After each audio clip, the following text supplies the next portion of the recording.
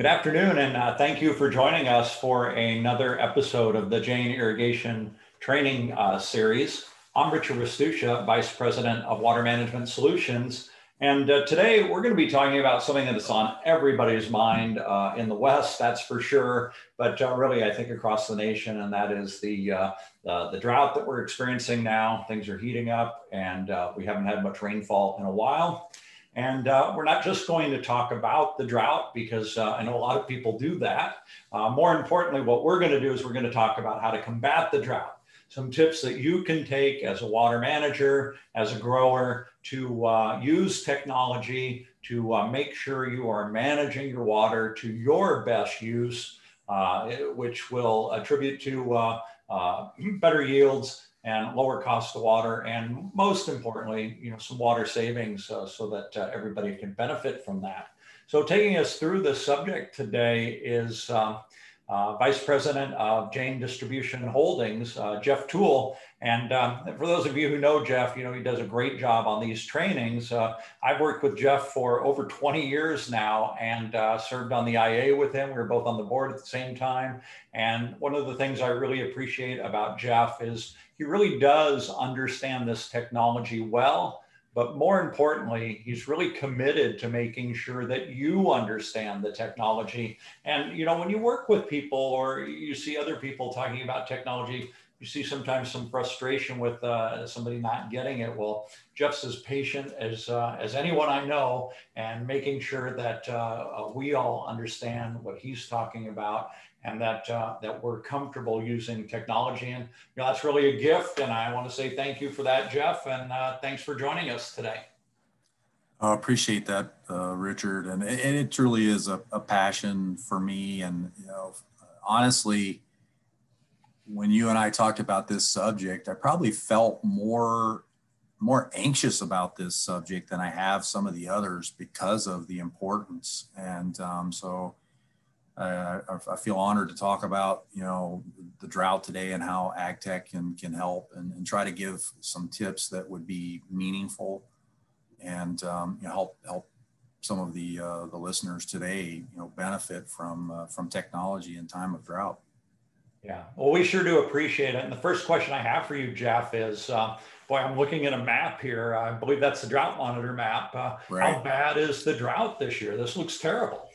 Yeah, it's it's it's pretty bad. This is this is the most recent um, map, uh, and uh, from from the state of California, and hundred percent of California is in a moderate uh, drought, and and ninety four, almost ninety five percent is in a severe drought, and then seventy five percent, which is frankly amazing is in what would be classed as, as extreme extreme drought. And then you know the dark areas that you see on on the map there the darkest areas are what they call an exceptional drought. And 26% of california is uh, is having an exceptional drought. So you know we're expecting the, the fire hazards are, are extreme at this point. You have you know wildlife that will be affected. You have wetlands that are expected to dry up or water is already receding. A lot of our reservoirs you know i'm a big fisherman bass fisherman. A lot of the reservoirs the water is is down. Um, it's unbelievable where you have to go to put your boat in to where you know you might put your boat in in years past so it's very real um, and and it's it's a big big issue yeah, so I'm very, very sorry to hear that. Um, one thing I think is interesting about this discussion today, right? We've talked a lot about software together. Uh, today, we're talking about hardware, and I don't think everybody completely gets how important good hardware is until I say things like, well, go put your cell phone or your iPhone out on a stick in the middle of a field and leave it there for a year and come back and see if it still works right? I mean, your uh, yeah. your yeah. your hardware, uh, it's unbelievable the uh, the quality and uh, uh, the efficiency that uh, that you get from this hardware. I, I think that's just great. Um, but before you talk about hardware, one other thing I wanted to talk about is just irrigation system performance and how that affects everything here as well. You know, it's it's a great it's a great question, and really distribution uniformity before we even talk about you know hardware and some of the things we can do um, in the in the field as far as you know monitoring and measuring thinking about the distribution uniformity you know corey and i were talking about this this earlier and it could be one of the most critical things. He was he was reading some excerpts from uh, the Pistachio report that just came out and having functional high performing irrigation systems was top of mind and top of the list. And so i would be remiss if i didn't call it out here. And uh, you know corey and i played around with some examples. And so just to help the listeners think about how important this is if you were going to put 40 inches of water out on a crop this year and you had um, a 90% distribution uniformity you would divide the 40 inches by 0.9, you'd get 44.4 inches. That's how much you'd have to actually put out to make sure every crop, you know, every plant in the field um, got the, the um, minimum amount of water, the 40 inches. If, for example, your DU wasn't what you expected and it was at 75%, you divide that same 40 inches that you want to put out by 0.75 and you have to put out 53.3 inches hmm. and that's that's 20% more water um, on a 15% swing or 15% difference between a, a 0.9 du and a 0.75 du and so sometimes we you know we've talked about this in our water management services where before you think about technology it's really, really a good idea to check the distribution uniformity of your system. And in a time of drought, putting out an extra 20% of water is huge. Um, there's hardly anything I can tell you about today from a technology standpoint that could save you that much water. I mean, we can get close um, depending on, you know, how much people are over irrigating. But that extra 20%, and you have to think about it on the opposite side. If you say, well, I'm, I'm not going to put that out, well, then you're going to be deficit irrigating, you know, a large percentage of, of your crop if you don't put out that, say, 53 inches in this example. So, you know, thanks for raising that. It's a, it's a critical topic, especially in a time of drought. Um, I really encourage, you know, growers to, to look at their distribution uniformity. Yeah, thanks for pointing that out, Jeff. And the other thing that's interesting about that to me is, you know, for our landscape customers, you know, a 75% DU would be great. Yeah. A lot of them are operating at less than that. So you can imagine how much uh, overwatering is uh, happening there as a result right. of uh, the system. So, uh, yeah, thanks Absolutely. for pointing that yep. out. All right. Well, shall we uh, shall we move on? Yeah, it'd be great. Let's just jump right in. So here, here's a list of some of the hardware and some of the uh, ag tech uh, tips we'll talk about today. I'm going to start with soil moisture. I, I, believe that you know soil moisture is, is one of the most important elements. Um, we're going to look at, at flow and pressure, so monitoring flow and pressure in the field and at the pump stations. I'm going to talk really briefly about automation and how automation at your pump and valves can help save water. Uh, and then lastly, we'll talk about uh, weather stations and, and really what how they can help. In this case, you really I make this statement and I, and I mean it very sincerely. You can't manage what you don't measure. And, and that's in business, that's in a lot of things we do. But when you think about irrigation systems and you think about water management, if you if you're not measuring it and you're not tracking it, you really can't manage it. So I just want to start off with uh, making that, that statement. So most of you have seen uh, this, this particular image up here, and I'm not going to go into a lot of details, but I want to orient everyone uh, in terms of what's important so that as we go into the examples, everyone will kind of get that. So, you know, what I what I want to do is this is the chart we've shown before and everybody has seen this, your saturation point, you know, field capacity, water holding capacity between your wilt point and your field capacity, et cetera. And then you've got your allowable depletion. This is a simplified version, you know, of that. And I've got another one in just a second that'll even, you know, hopefully make it more simple. So in that desired range, when you look and think about your available water, you want to fill up to your field capacity and field capacity being the amount of water the soil will hold that's available to the plant. If you go beyond field capacity um, too far, you'll end up you know, moving towards saturation and the water will fall through and we'll see some examples of that. And then as you're allowing the crop to consume the water and, and, and the uh, evaporation occurs, so you can think of evapotranspiration, you're going to travel down this. So, so as in this case, you can see this as the water is being consumed and, and moving in the soil. And you're going to hit a refill point. This is your allowable depletion level. And that's where you want to start irrigation. And again, we'll see some examples here. Obviously, the two areas to stay away from is a permanent wilting point and then you know getting up above this field capacity area into saturation. That's probably what we see most uh, most commonly. So the next slide on this is really just to show you I, th this is all of what we just talked about here. So saturation field capacity your plant's happy between your allowable depletion and your field capacity.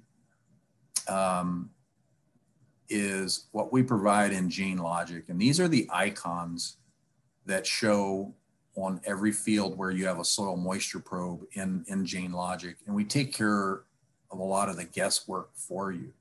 So assuming that you set your boundaries, um, your upper boundary and your lower boundary, your allowable depletion and your field capacity correctly, then we're going to give you an indication of when the soil is too wet, and that's when it's greater than um, it's 100. It's over 100 percent, and it's wet when it's between 75 and 100. You're in the very good, which is a dark green, at 50 to 75 percent, and that's the difference between you know your field capacity and your allowed depletion.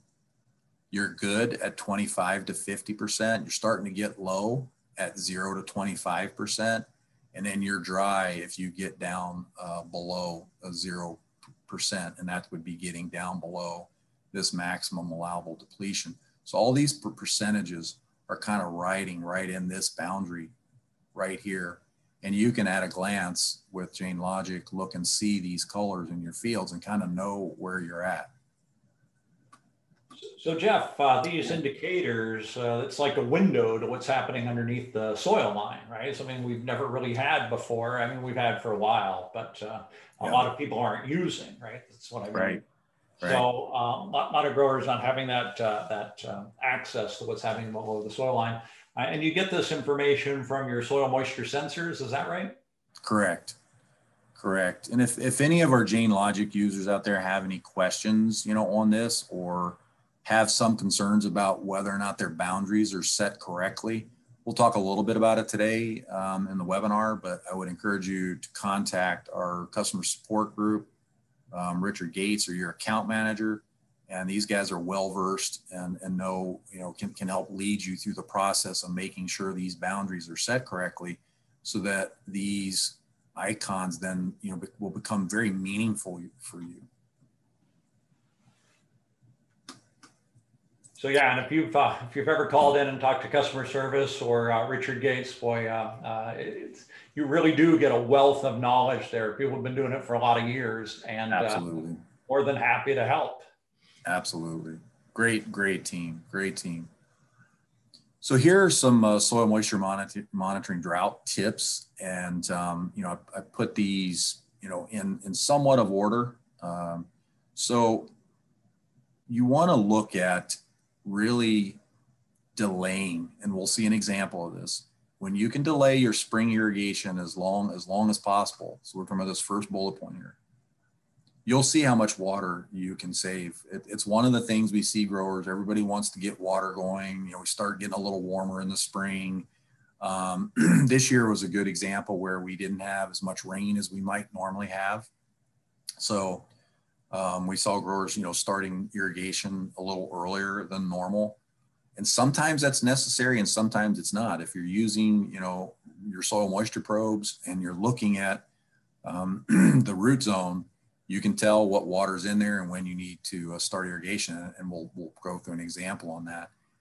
The next one is maintain moisture in the root zone. You know, obviously moisture outside of the root zone isn't helping your crop, whether that's a row crop or trees, orchard, citrus, whatever it is that you might be growing.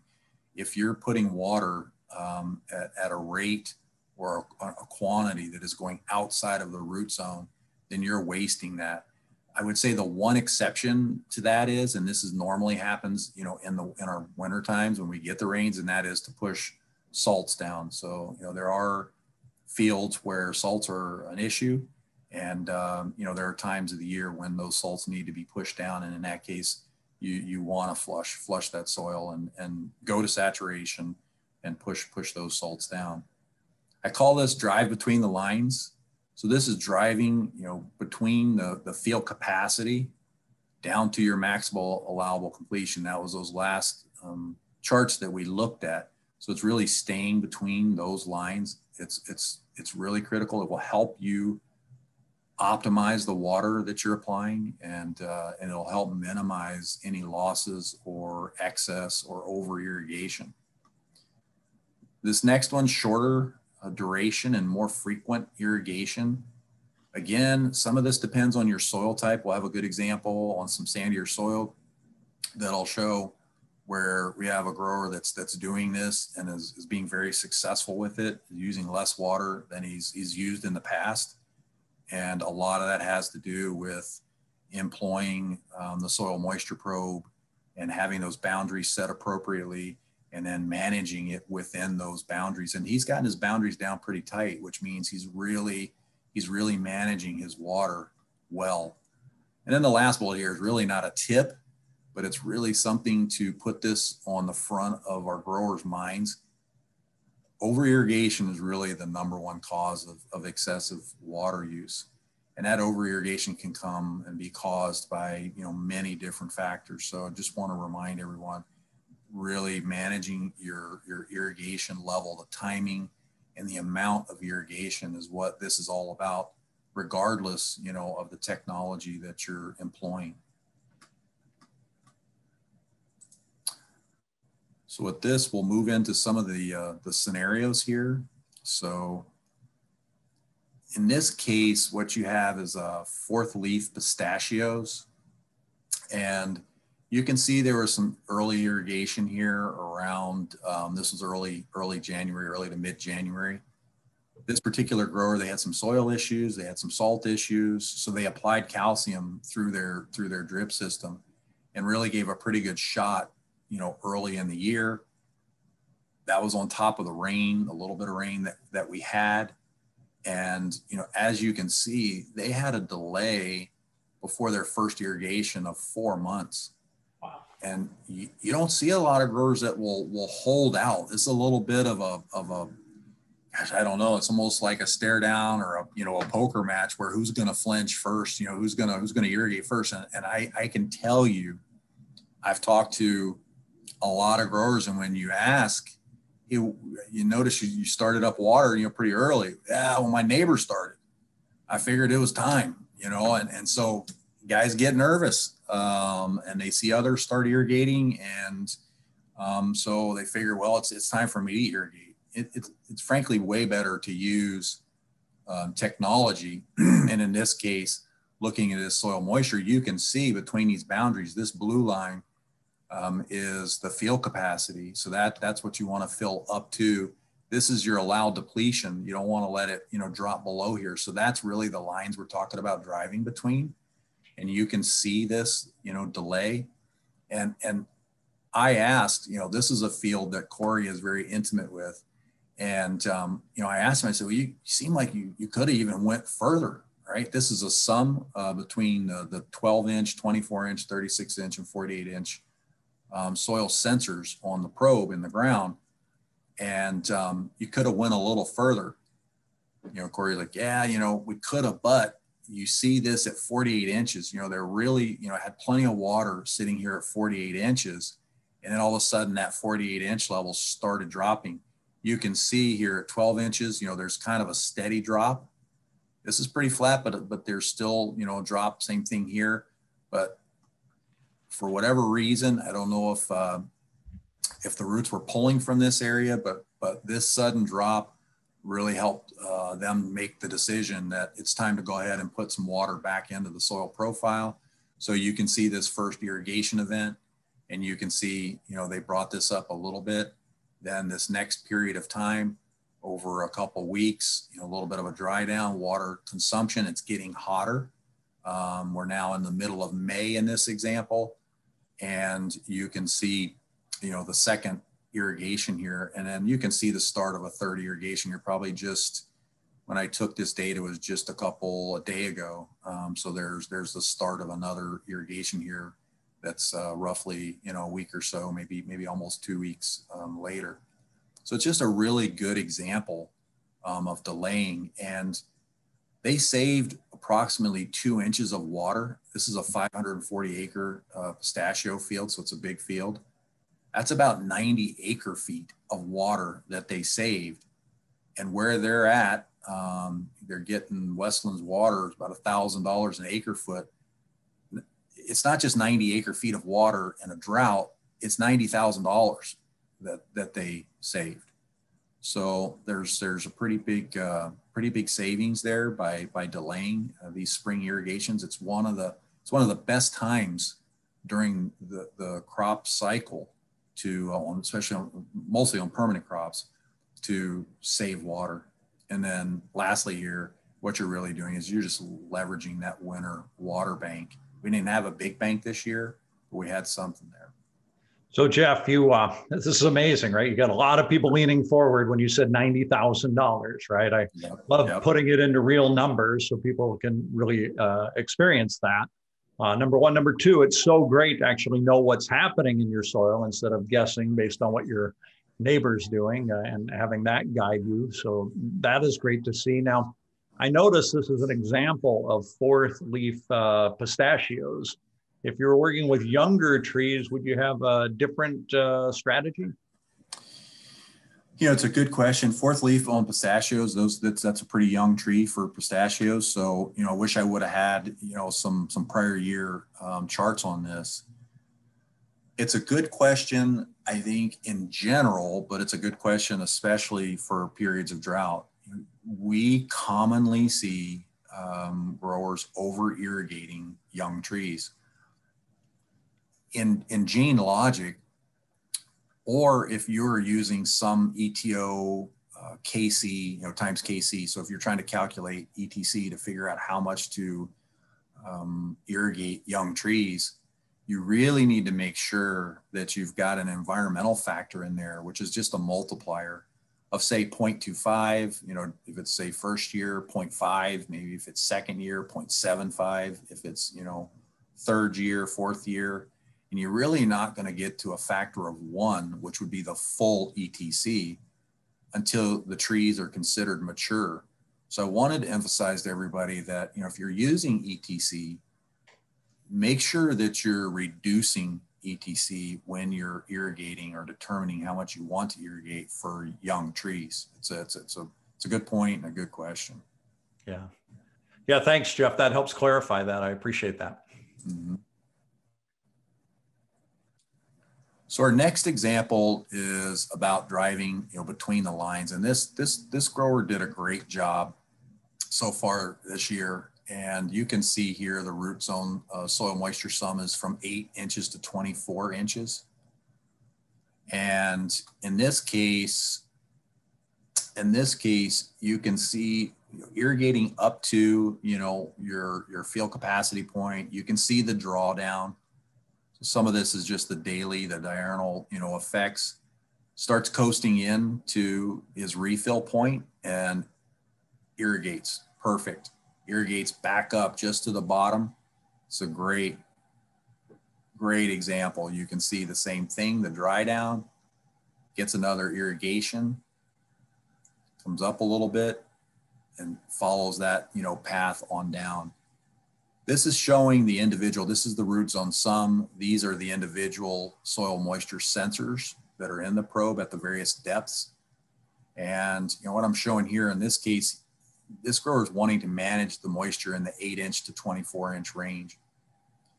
And in this particular irrigation event, I'm not sure if this was human error. We'll talk a little bit more about that later. Um, this could have been this could have been human error where the runtime here was significantly more than all of the other irrigations, and I can't see any reason for it. And we see this quite commonly, and again, I'll, I'll, I'll emphasize this more when we talk about automation. But human error in terms of starting and stopping pumps um, during irrigation is, is significant, and I'll give a few more examples on it. Another thing I wanted to call out here is when you're looking at how much a particular level within the soil, how much water it will hold, this is your your your field capacity for this. You know, this is a four inch sensor. This is applicable any on any at any depth.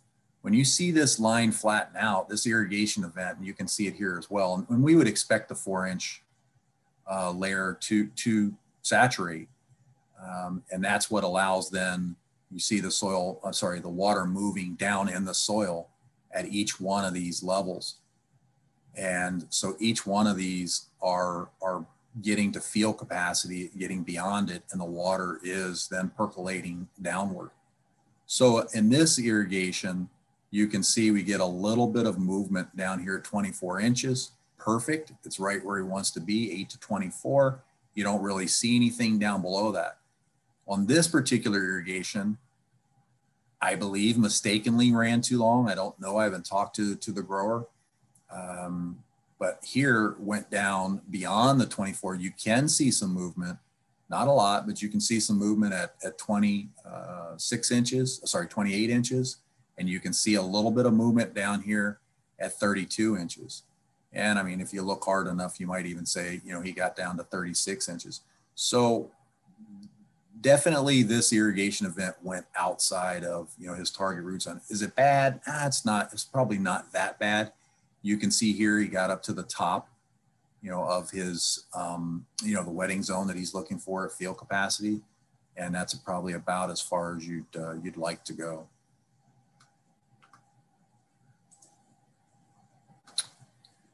So this is the short duration frequent irrigation example. And this is, this is from uh, May, sorry, uh, April 5th to May 31st, uh, almost almost two months.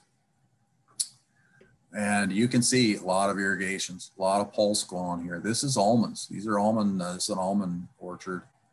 And this particular grower, this field has, has a reasonable amount of, of sand in it. So the water moves pretty good. You can see um, on these various irrigations. So you see movement, you know, pretty, pretty quick when you go down the line. Um, and, you know, this is just, it's a good example of here during the earlier part of the month, probably got a little too close here, got, got a little high in his field capacity band here in his upper, upper limit and did a great job of, of stretching it, you know, stretching some things out, waiting a little bit longer, gone ahead and consuming, you know, some of that water before the next irrigation. And then you know getting back to some of the shorter pulses and then driving between the lines here you know all the way you know the rest the rest of the way.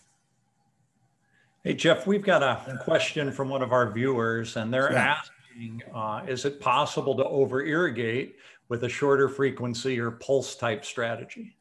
Sure yeah you can um, you know a good example you know here i think you know you got a little you got a little bit of um, quite a bit of water that got bunched up here. So you had some shorts and you had a, a, little bit longer irrigation. So this might be a good example right in this area here where you definitely came high up into the field capacity range, up into that upper limit. And you can see water, you know, moving, you know, quite a ways down. Soil moisture units, you know, are getting as, as high as you see on any of the other areas. So you can um, over irrigate when you pulse. I mean, it's all about the spacing and the timing, you know, of those pulses. You want to try to stay true and and just read these, read your soil moisture, and, and give a, a, a length enough irrigation. So I would say, I know this grower is averaging six to six to 10 hours on these pulses. And I think there was a few instances where, you know, that got up and was almost double. You know, this I think was like a, maybe a 13, 14. There's a couple of those out here, but this maybe is a good example of shorter, closer, staying between the lines. This one is spacing it out, but going a little bit longer. These are probably 10, 12 hour irrigation uh, sets and still managing it, you know, between the lines. So it's a really good question. Yeah, I can't imagine trying to manage uh, pulse irrigation without a soil moisture sensor to see what was going on. Right. Yeah, I, I totally agree. So here's an example of an over irrigation. So I'll, I'll, I'll just jump right down here and say, you know, the, the normal irrigations, this was coming into, you know, the middle of May, 48 hours. Um, this, this particular irrigation, you can see the, the soil, uh, the root zone sum is in 28 inches to 48 inches. And, you know, you can see, you know, that, that irrigation got them up into this upper boundary. It looks nice, you know, letting that dry down. You can see water movement down to 48 inches, which was the target area, 28 to 48. Really nothing happened down at the 56 inch level. That's the bottom of the sensor. This is a five foot, 60 inch um, uh, soil moisture probe. And then I, again, it's so hard to know why you would irrigate 72 or 74 hours other than there could have been human error. The irrigator um, got called off to do something else. Um, something broke down, couldn't get back, just totally forgot. I, I, really, I really don't know. But when you look at this um, 72 hours, it's, it's, you're getting water you know, all the way down here to the 56 inch level. And um, I, what I did on this one, I wanted to show the infiltration chart on this. So this is that same, same field looking at the soil uh, infiltration chart. And you can see, you know, with those two irrigation events, you're clearly going down uh, past that 56 inch, you know, level. And that's really it's wasted water. You know, those trees are not going, you know, down below probably that 48 inch level. And so if you were to look at the difference, just to kind of try to put this into perspective, make it make it relevant. If you were to look at this and say, you know, I, I looked at the application rate, it's 0.02 inches per hour in this particular case. You take the difference between 48 and 74 hours, it's 26 hours. So that's going to give you 0.52 extra inches. All right, so well, okay, it's not that not that bad. Times the 74 acres, it's 38.48 acre inches, which is about you know three acre feet, um, or at a thousand dollars, you know, a, a uh, an acre foot, it's three thousand dollars, and that's for one irrigation.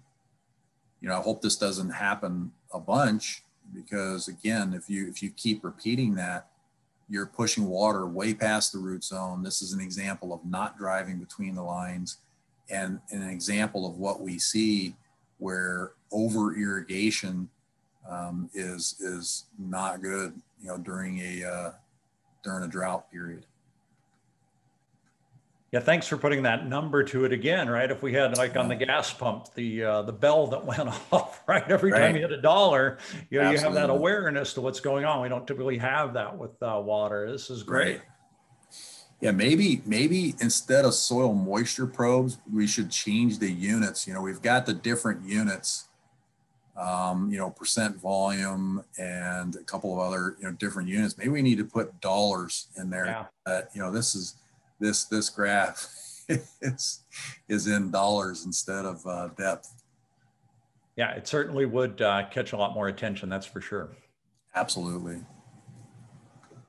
So let's move on and talk a little bit about flow and pressure monitoring. And really, when you're looking at this, we're talking about a simple flow meter um, out out in the field. In this case, it's Seametrics uh, flow meter. Everybody's probably familiar with that um, connected to a C3. You can see the base of the C3 sitting here. And with flow meters, you're going to get instantaneous flow, and that'd be your gallons per minute. And uh, you know that's uh, we'll we'll talk a little bit why that's important in just a minute. You also can get total, you know, measured flow. So how much water is flowing through this this pipe, um, typically coming off your your water source, your pump, your filter station, etc. The key here is that this is the total. So if this was feeding one field in one set, you'd have everything you needed, you know, right here. If this was feeding two sets or three sets or four sets or multiple fields, you would only have the total water that was was flowing here and being consumed here, and you would need um, a infield pressure switch or pressure transducer out in each one of those fields or those sets if you wanted to be able to calculate the applied water on a per set basis. And the difference is an infield pressure switch, it's just looking at a change in pressure. It doesn't give you an actual pressure value. So it doesn't give you PSI. It gives you a one or a zero, with a one being that, you know, the pressure, there is pressure in the line that exceeds, let's say you set it to, you know, four or five PSI, which means irrigation is on and running. And then when irrigation is turned off and that uh, pressure goes down below that value again, then you go back to zero and we track that time between between those two events and you can take that time times the application rate and you can get your applied water on the field and we can you know i'll show you some statistics and some things like that that we can do from that. But it's a very simple device. This is a pressure transducer that's sitting uh, at a filter station. So in this case i don't i can't tell looking at that small picture if that's a pre or post filter pressure. But again i'll show an example and um, you know the pre and post filter uh, pressure transducers are important for just looking at the pressure differential. It can tell you a lot of different uh, a lot of different things um, and insights into your uh, your field and what's going on. Which again, managing the water using this information really helpful during uh, drought periods of time. So here's some applied water uh, data from those uh, sensors that we just looked at. Here you've got ETC. This, this happens to be uh, from AgriLogix. You have applied water. This is calculated applied water from an infield pressure, uh, pressure sensor, pressure switch. And you can see this is tracking very well with ETC. It looks like it's short. And a lot of people think, oh, I got to make up this gap. You really don't because this is early in the season. This starts in January. This is early in the season. There's water in the soil. Um, you've had some rain. Again, this year, not a ton of rain, but you've got some rain that, that has occurred. And the soil profile is hopefully enough to, uh, to carry you through that. And so, but now when you look at these two and compare, you know, they're tracking pretty, pretty nicely. So it's a good example of using that applied water. In this, in this case, you're looking at the monthly applied water and each month this updates and it gives you your total uh, applied water, including if there was any, you know, measurable, you know, monthly rain. And in this case, you know, looking, you've got 13.7 inches in, in May uh, so far for a total volume of 20, 20 acre feet. So again, it's, it's good to be able to see that. The questions you ask yourself and when water is, is tight, is this where I want to be? Am I expecting 13.7 inches um, for this particular for this particular crop?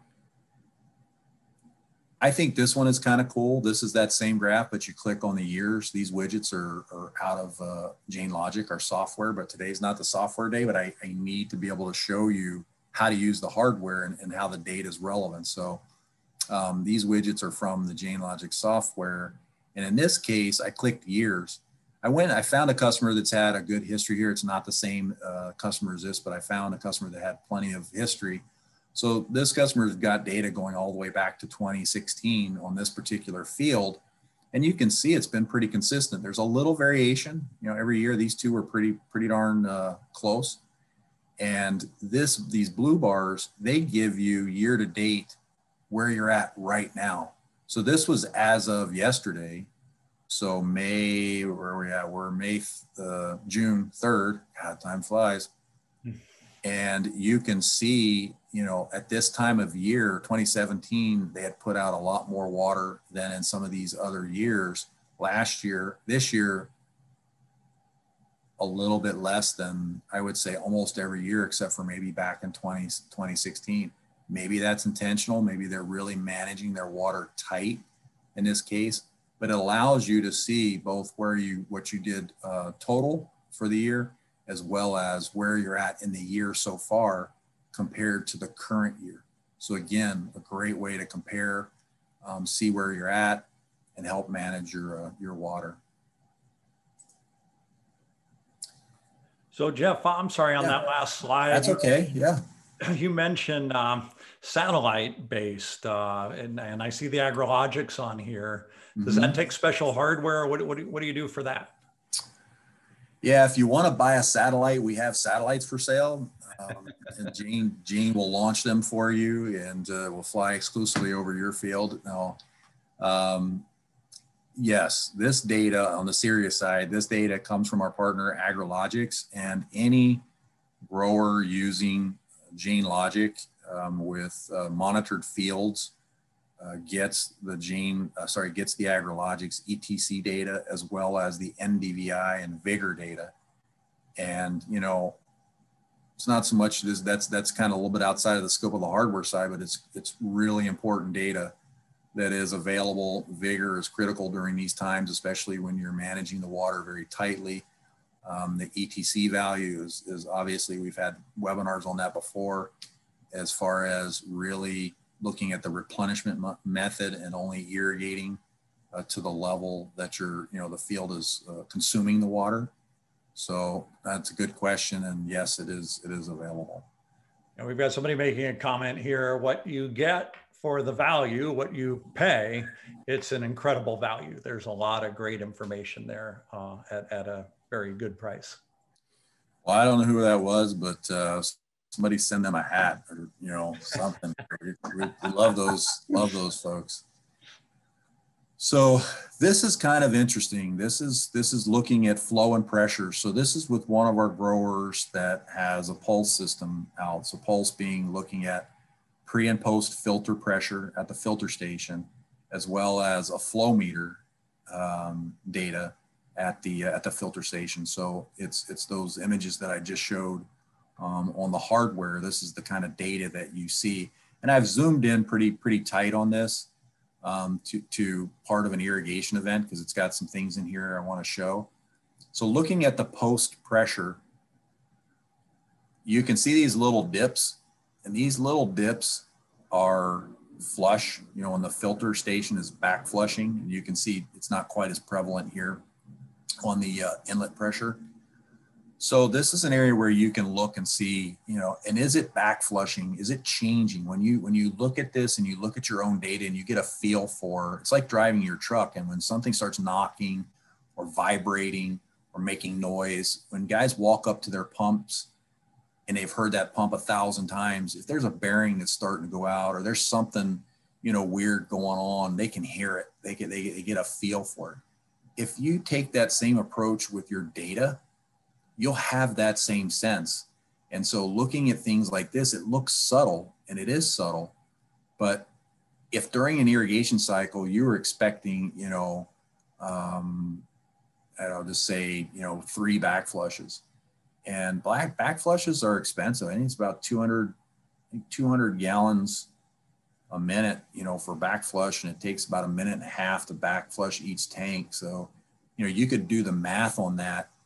And if you're, if you have excessive back flushing, you, you are, you're wasting water and you need to look into why is that? Why, why am I back flushing so much? Is my, is my PD switch, my pressure differential switch, is it working properly or is it set properly? Um, is there something, you know, in, in my tanks that I need to crack them open and look to see, you know, I have a bunch of organic material that's built up in there and it's not, you know, uh, flushing out. it could be that my, my sand, I need to, you know, replenish my sand or replace my sand. So there's, there's some maintenance things to be done there, but this can kind of give you a clue if this changes and it doesn't look like it normally does in terms of the number of flushes that are happening, it's good to dig into it. Another one that I found interesting here, and I, I don't know why this occurred, so I have to kind of guess um, because I can't, I'm not, not in the field, but I saw this little bump in flow, and this is in gallons per minute. So this is like the real time flow that's occurring from that uh, from that pump during this irrigation cycle from the flow meter.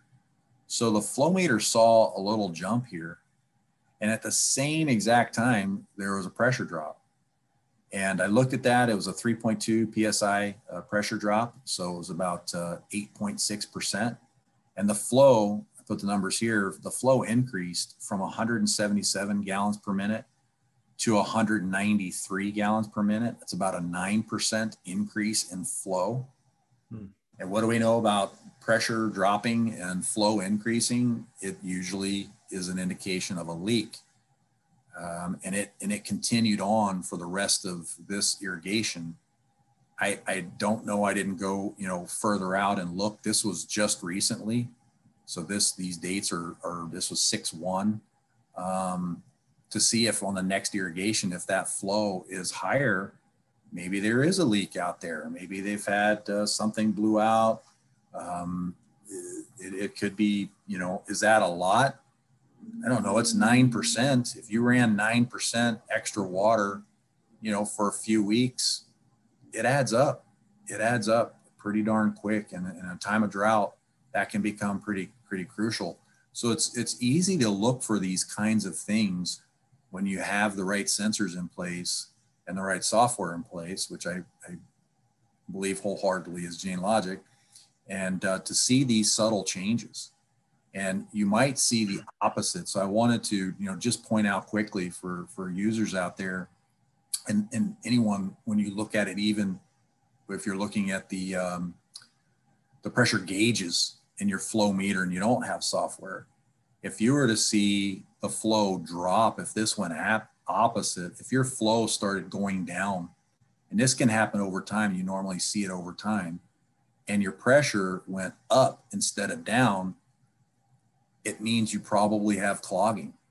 Or you may have uh, a valve. There could be a butterfly valve that didn't get opened uh, all the way back up. It's it's it's a quarter closed and it should be all the way open, or it's it's half closed and it should be three quarters, whatever the settings are that you have in your field.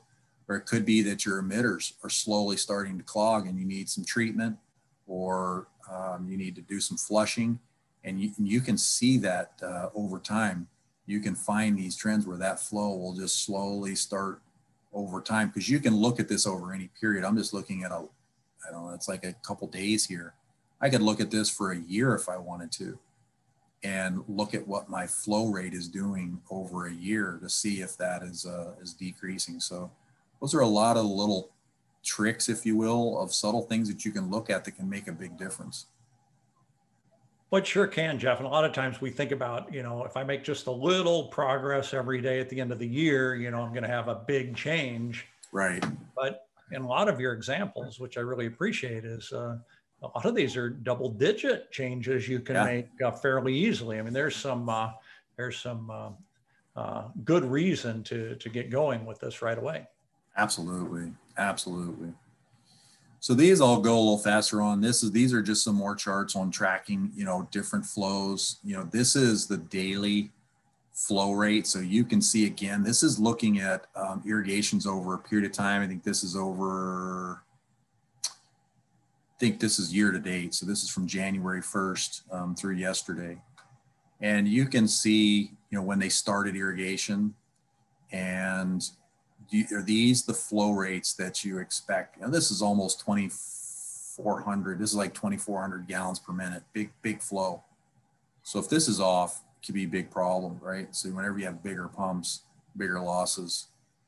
And, um, you know, I looked at these and they're tracking pretty good you know these are these are tracking uh, pretty good for gallons per minute and you can you can analyze this uh, all you want in uh, using Jain Logic. This is the daily flow in acre feet. So are these the, is this the amount of acre feet that you're expecting to put out? Again, what did I order or what did I schedule? What did I tell my irrigator to put out versus what am I seeing here is uh, can clue you in on whether or not you're wasting water. Monthly flow total. So you can see here, you know, this, this starts at the beginning of the month. You had some irrigations that occurred. So it starts accumulating that. Irrigation stopped, gets flat, end of the month, goes back to zero. Start irrigating here, comes back up, cruising along, no irrigation. Couple little bumps here. So it comes up again, same thing, end of the month, stops we come out here and we can see, you know, here we're later in the year. This is this is more recent, in the last uh, few weeks. So you can see in this case, the number of acre feet, you know, is climbing up on each one of these irrigations. So it kind of gives you a good indication of, of what you're doing in time in terms of total number of acre feet.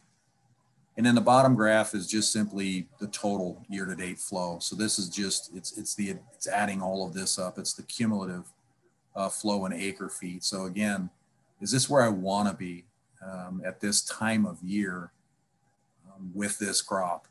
And it's just a great way to uh, to look at that.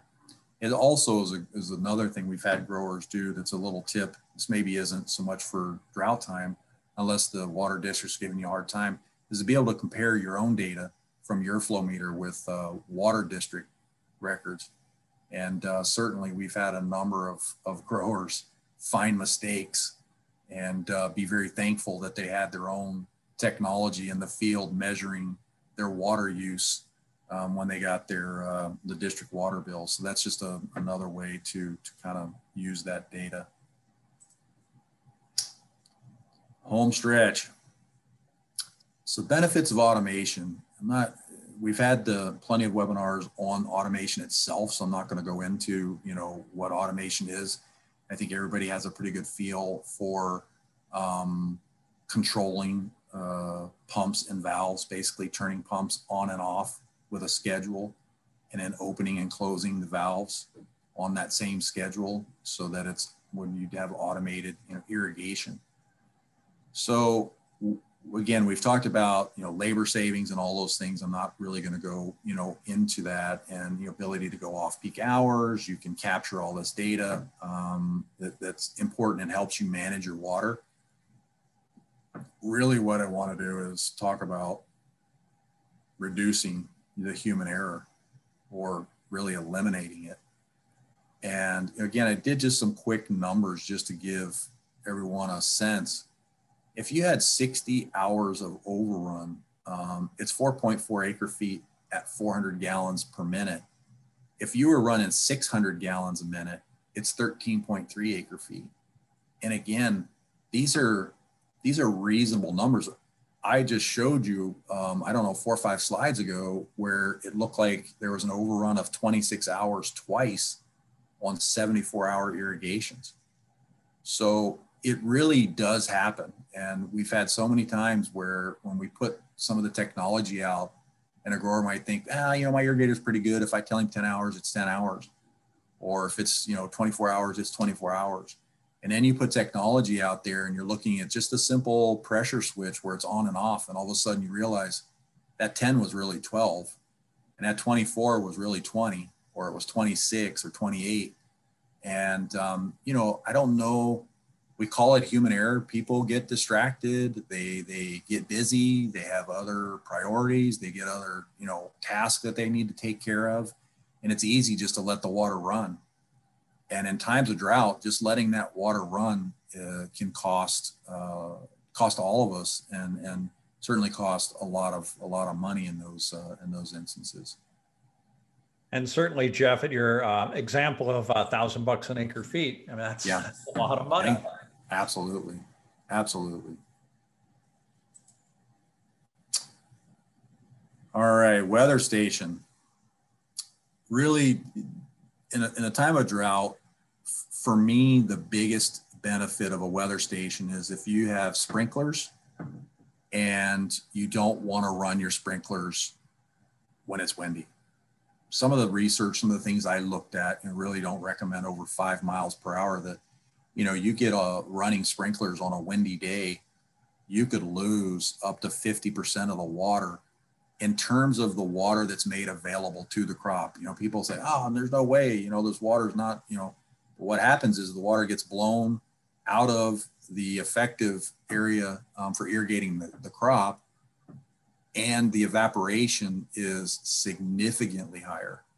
So, you know, one of the things you can do is use a weather station to, to make sure before you start irrigation, um, and that will help uh, tremendously uh, in terms of saving water.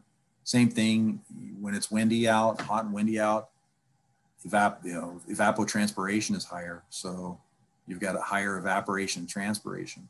If you could, um, regardless of what type of irrigation is, you, you, you'd irrigate on calmer days. It's not always possible and certainly, you know, realize the realities of that.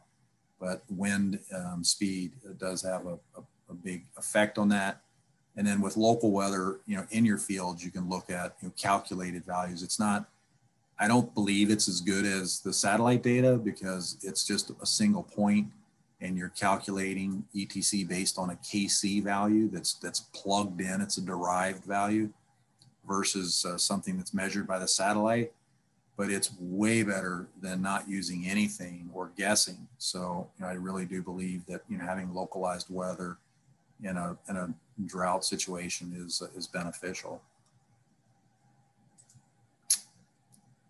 And lastly, so to summarize, manage your root zone soil moisture precisely. We talked about driving between the lines, probably the number one. Um, and if you do that, you won't over irrigate. If you can push your spring irrigation out as far as possible, it's going to save you water and save you money. Again, monitoring the soil moisture to push that out as far as you can. If you'll analyze your flows and pressures, take a look at that, look at the trends, look for changes. You can identify areas where you have uh, poor performance in your irrigation system, you have excess um, flushing on your filters, identify leaks, potentially clogs, you know, clogging within, say, your drip system. So analyzing the flows and pressures is important. We talked about it at the very beginning and it's not hardware related. It's it's check your distribution uniformity. It, it might be the biggest thing on here. Maybe i should have put that at, at, the top. And then the last part of that is mitigate. You know if you check it and it's not where it needs to be i would say spend your money on mitigating that get your distribution uniformity up in that 90 plus percent and and by the way i want to say this if you have someone doing a distribution uniformity test and they tell you your system's at 98%, it's not possible. It's just not possible. There's no there's no system, I think, in the world. Corey and I were talking about this, and um, I, I, know there's some some companies out there that uh, might make those kind of statements. Really be skeptical of that. Your, irrigation distribution distribution uniformity should be coming back in the point, 0.8, 0.91, 0.92 as a max. We've seen a couple that you know got up to 0.93, and those were new systems um, operating you know really well. So be skeptical of that. Automate to eliminate the human error. We just just talked about that. Avoid running your sprinklers on windy days, and then use localized ETC and um, to determine your crop water needs, and that'll help really um, guide you in terms of the amount of water to, to put on. So, Jeff, those are some amazing uh, tips. And uh, man, uh, we are all better water managers uh, today, and uh, uh, much better water managers today after seeing this than we were before. thank you. That was, that was really great. We had um, we had one last question here, and somebody's asking, you know, how long can you push out your first irrigation? and uh, how, how, you know what's an easy way to figure out how to do that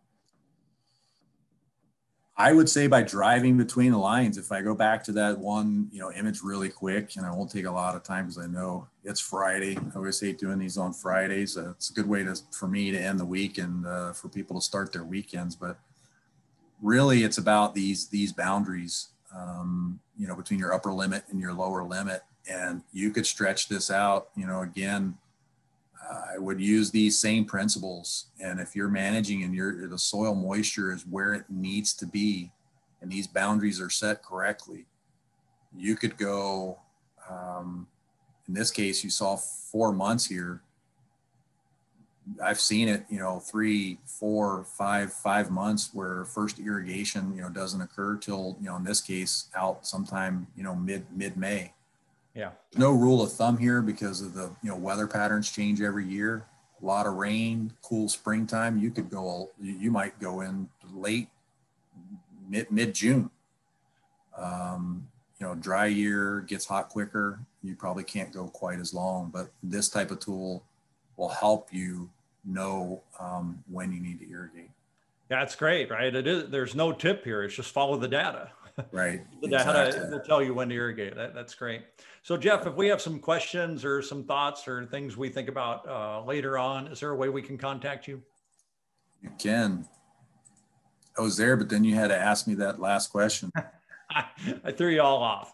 Okay. Absolutely. So you there's my contact information. I'm always available. We have a tremendous team, you know, at, at uh, you know, in the Jain monitoring control.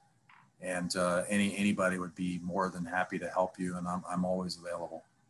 Okay, great, Jeff. Thank you again. Thanks everybody for tuning in today. We really appreciate that. Uh, we hope we're providing you with the uh, uh, tools you need to uh, be more educated and be water better water managers. As you know, all our trainings are on the jainsusa.com website forward slash trainings. And you can also listen to us wherever you listen to your favorite podcasts. So we're on Spotify, uh, Apple, and Google Podcasts, as well as iHeartRadio podcasts. So check us out there. Uh, everybody have a great weekend. Uh, we uh, hope you enjoy it, and we'll catch you back here next week. Uh, I believe uh, Wednesday, uh, Andy Bellingary is going to be here talking about ways to save uh, water in your landscapes during the summer. So it'll be very informative. Jeff, thanks again. Really appreciate Thank it. You. And thanks everybody for joining us. Talk to you soon. Thank you.